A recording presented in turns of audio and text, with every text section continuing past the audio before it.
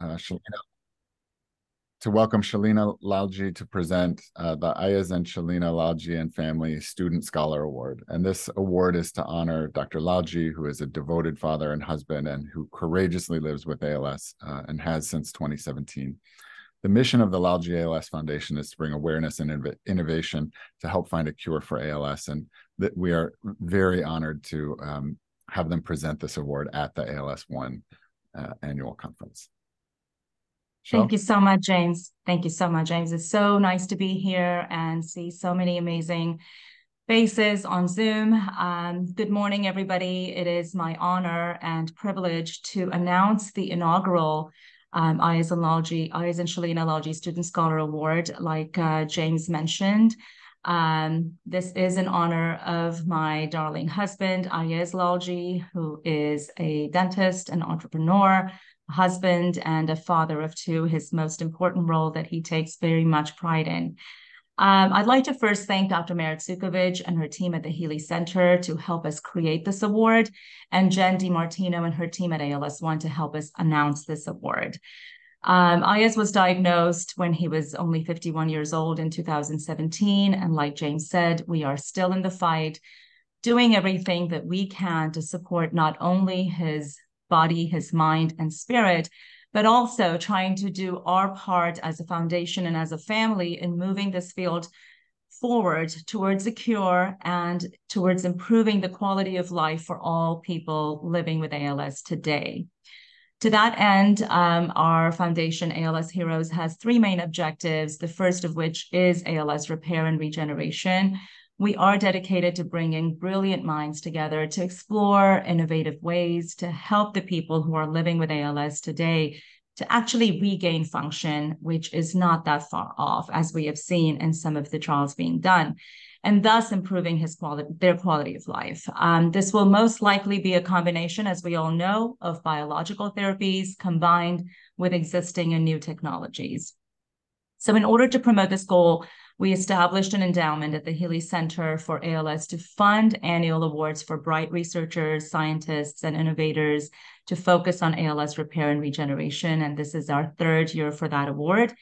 This year, we began the first Student Scholar Award for ALS repair um, in honor of Ayeez and others who are fighting valiantly um, with ALS. Um, and this award really aims to recognize the brightest young scientists in the field of ALS and to facilitate meaningful research that would help us understand the mechanisms underlying axonal and neuronal repair and regeneration in ALS and other neurodegenerative diseases um, that may be translatable to ALS. So I know a lot of us agree that young, bright minds see opportunities, not obstacles. They focus on solutions instead of getting stuck on the problems.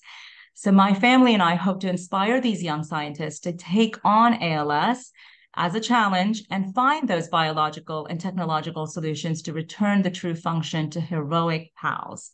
Um, this award is available to undergraduate, graduate, or summer students, but they must be conducting research under the direction of a mentor.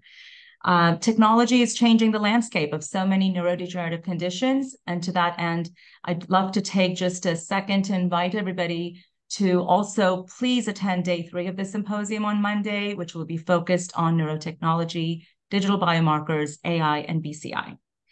With that, this year, under the supervision of his professor, Dr. Jose Millán, Dr. Deland Liu is recognized as the Lalji Student Scholar for his project that integrates artificial intelligence modules, language models, and reinforcement learning in brain computer interface to restore efficient communications for people with ALS.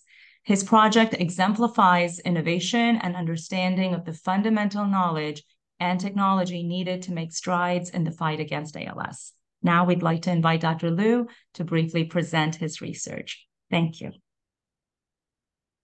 Thank you, Shelena. So I'll just um, quickly share my screen.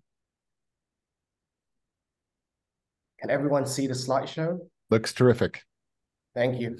So um, I'll be presenting about robust and accurate spelling based on EEG error-related potentials for ALS. And I'm Dylan. I'm supervised by Professor Jose Millán, and we're from the EC department and the neurology department of UT Austin. And we just want to pay our special thanks to Doctors Lalji and the Lalji family for supporting this project. So moving on to the introduction and research problem. So in recent decades, we've seen a lot of developments in EEG BCIs um, in restoring communication abilities for ALS patients. And a lot of those BCI devices are relying on neural signals from the motor cortex. And a large problem of this is that ALS is indeed a neurodegenerative disease that affects the motor neurons in the motor system. So a lot of those motor signals are not reliable anymore. And not to mention that EEG signals are non-stationary and have very low SNR. So the problem is that EEG BCIs designed for ALS patients tend to be non-stationary, low performance, and performance tends, tends to degrade over time. But fortunately, we have other EEG biomarkers that we can record accurately and that we can exploit. And one of those is error-related potentials, which is a uh, which is a neurocorrelate of a cognitive process, specifically error monitoring. And because it's a cognitive signal, it's well and better preserved in ALS patients in comparison to motor signals. And also, we have seen tremendous advances in artificial intelligence in recent decades, which we can integrate into BCI systems to improve the accuracy and robustness of those systems. And just to give you an example here, this is a research from Martin Spüler in 2012, where he shows the error-related potentials from three different groups of people. H1 is healthy young people, H2 is healthy elderly, and A2 is a group of six ALS patients.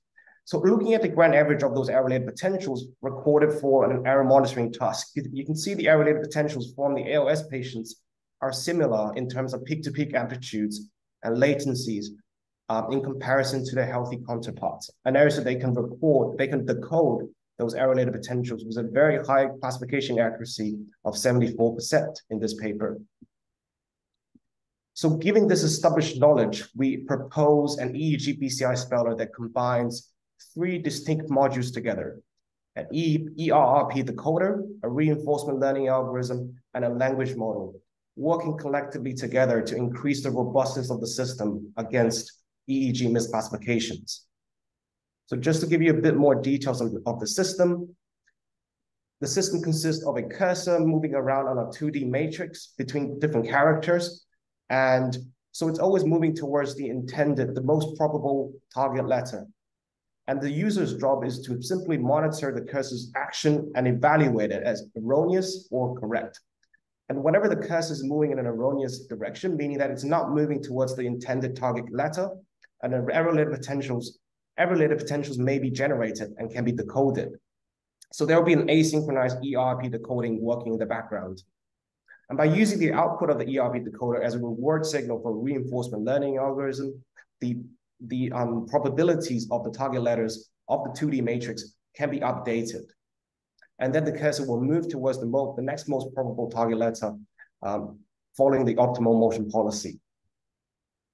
And upon selection of the target letter, the language model will then estimate the next most probable target letter, giving it the highest initial probability.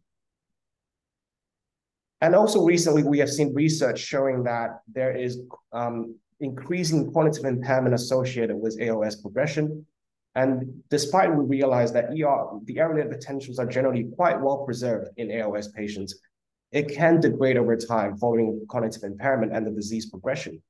So we propose to couple the speller with transcranial alternating current stimulation to restore ERP in those occasions.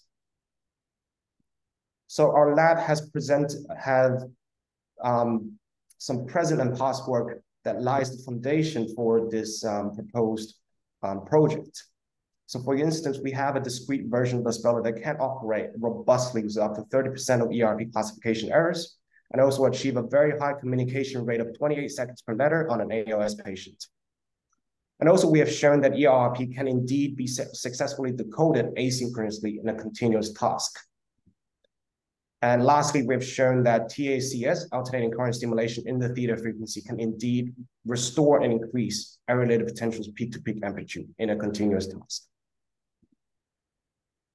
So in summary, we want to develop an ERP-based EEG BCI speller that is natural because the, um, the, the, the, user's task is similar, is simply to monitor the cursor's action and to kind of drive it to the, to the correct target. And also we want that we want a speller to be of high communication rates, especially when EEG signals start to decline. And also we want to develop the speller that can be used in both lock-in and complete lock-in um, patients. And here are the references. And thank you for your attention.